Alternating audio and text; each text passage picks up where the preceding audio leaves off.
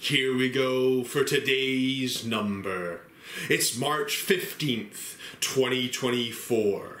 Ten balls.